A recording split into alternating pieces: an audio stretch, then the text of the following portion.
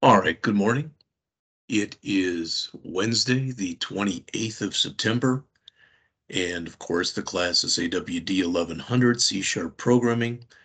Today we'll be taking the hands-on test number four or hot four, which is on chapter eight. The test was emailed to you this morning. The test is due in your GitHub repository by 11:59 59 p.m. tonight, Wednesday, the 28th of September. So there are two problems on the test. If you have taken the time to go through the problems that I did in class, you should have no problem, especially with the first one. Now notice what it says here. Write GUI application hot four GUI that looks up contact information by either first name or last name. It says here, program must store this table in three parallel arrays or lists and use an appropriate loop. So what they're saying here is if you look at what is right here, you will have three different arrays, one that will, rep will represent first names, one that will represent last names, one that will represent phone numbers.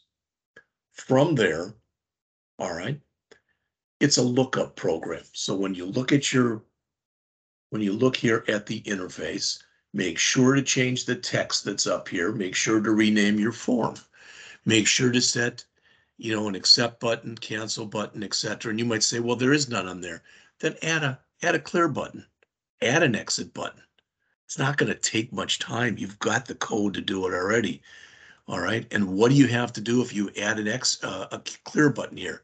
You've got to clear this, which will be some kind of a label, clear this, which will be a text box, and set your focus. That's all you've got to do. And for the, if you add an exit button, I've already given you the code for that. You've used it in virtually every program. So you should be able to come in here and you'll notice here's a couple of examples. So they put Bryony and they searched and it came up with the first name, with the last name, and with the phone number. They did it on the last name with Hester. All right, and again, it came up with the same information. They did it again with Sam, and there is no Sam in here. There is no Sam in there, so it just comes up and it says error. So if we look closely at the grades, all right, this first quet, this first problem is worth 60 points. Number one, controls are laid out as expected. All right, again, I would like you to take the time, and I wish I would have put it on here, and I didn't. I, this is, test was not written by me. But I'd like you to please try to add a clear button and an exit button. Okay, all right, so that's two points. Next, the form is renamed. Well, to what? How about FRM hot four GUI would be just fine. The form text is set to what? Address book. If you want to put address book slash your name, that's fine. The accept button is set. If you added the clear and the exit buttons, the cancel button will be set. Your start position is set. Your tab order is set. All right, now you could argue with me here and say, well, even if I don't set the tab order at all, it's set. Well, it should be set in a natural type of order. All right, that's six points. Controls and variable names follow. You know, basically you name them, you give them good names, names that make sense. And what we should have said on here too is try to modularize. This should go without saying though. So try to modularize with each one of these examples. Don't put everything inside of a buttons. Uh, don't put all your code to do this inside of that search button. It's just not a good way to code. All right. Program must use arrays or lists. Program must use a single loop. I showed you a for loop. We've done this on several programs, so there really shouldn't be any kind of problem. Failed searches display all expected error messages. Error, error, error like this. User can search, you can search for somebody by first name, five points if that works. By last name, five points if that works. All right. The search should be case insensitive. All right. So again, we talked about using the ToUpper on both those. I've shown you examples on how to do all of this, not virtually all of this, all of this. All right, let's see here.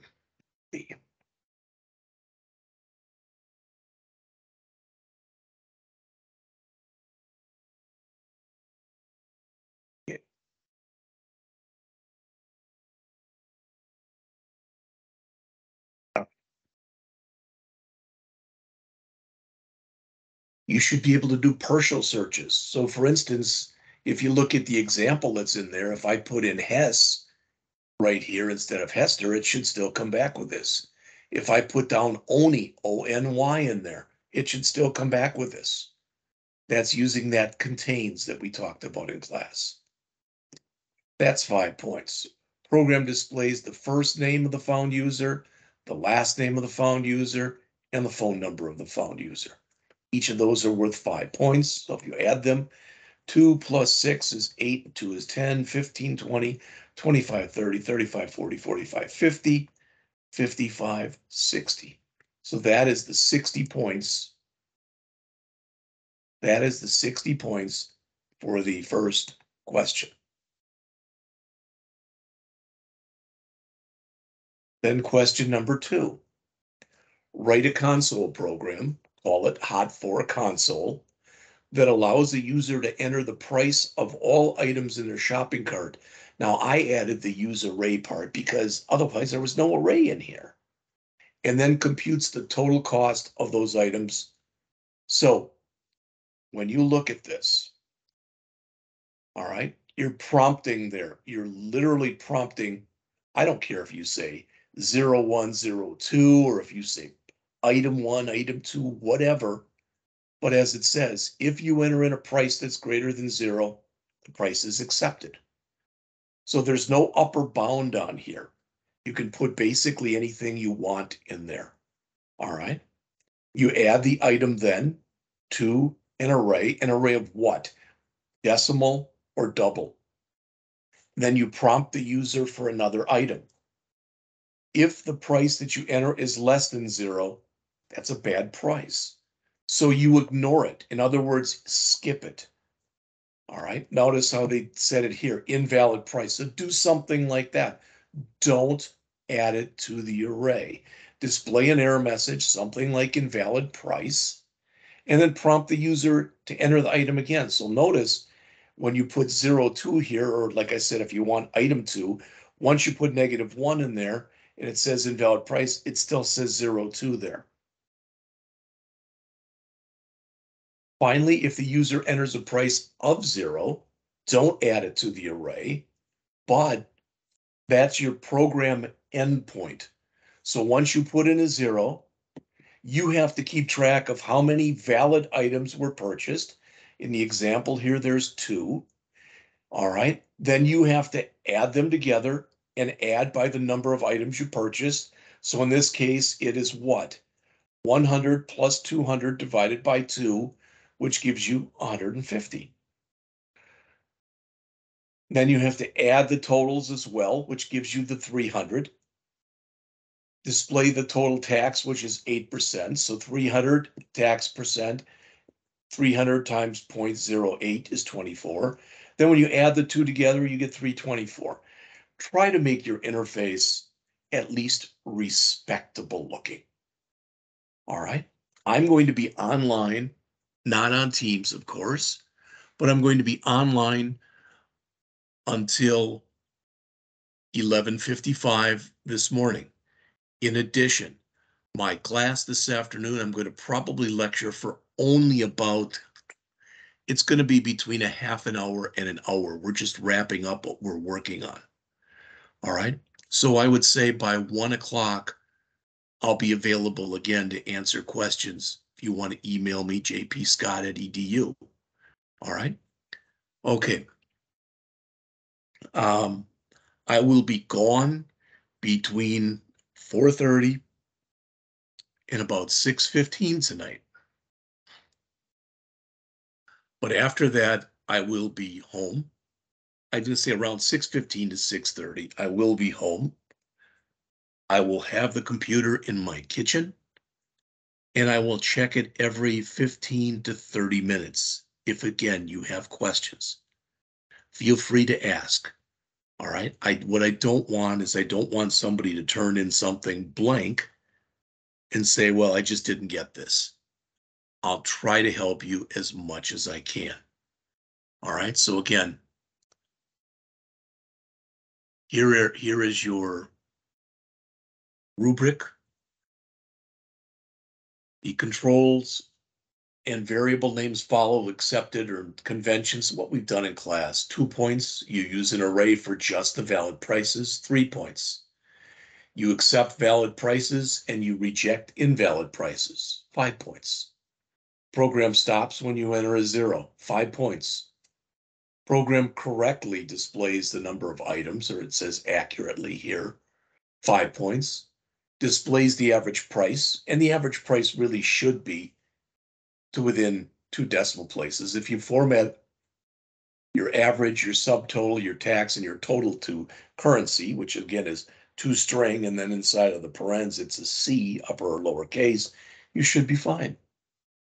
So the average price is done correctly, five points. The subtotal is done correctly, five points. The tax total is done correctly, five points. The grand total is done correctly, five points.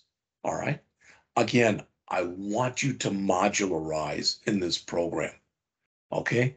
And I wish I had looked at, done a better job of looking at these instructions ahead of time, because I would have made that worth some of the points.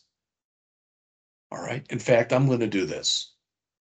All right. If you do modularize, I'm going to give you an extra five points on each problem for modularizing. So if you get a perfect test, you could literally get 110 as opposed to 100.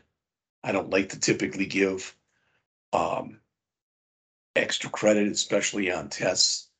But here's one case where it would make sense. So again, any questions, feel free to contact me. All right, I think I've gone over this all that I can. I've given you the names. I've given you the rubric.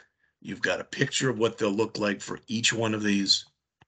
So again, any questions, feel free to email me at jpscott at ranken.edu.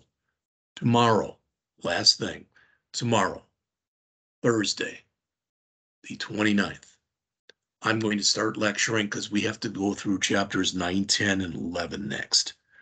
I don't know how long that'll take. We may only get through chapter 9 tomorrow. I don't know. We may get through 9 and 10 tomorrow. I don't know. We may get through 9, 10, and 11 tomorrow. I don't know whatever we don't get finished with tomorrow, we will finish up Monday. All right. And the rest of the period then Monday will be a lab. Tuesday of next week, Tuesday, I will look at doing some select problems for you as we've been doing in the past. All right. Um, Wednesday, you could look at probably, probably a pretest day. Thursday will be a lab day. The pretest might be a little bit more extensive than what we've done in the past. That's not a warning. I just want to tell it to you. I want to, because now we're grabbing information from 11 different chapters. All right. And if we get done with that, fine. And then Friday is will be our regular lab. And you can look at probably next Monday, the next Monday or Tuesday. I don't even know what day that is. The 9th or the 10th or something like that. That would be your test on chapters. Guess it's the 10th or the 11th. That would be your test on chapters 9, 10, and 11. Again, Feel free to contact me if you need any assistance with anything on the test. Thanks, and I will talk to you then tomorrow morning.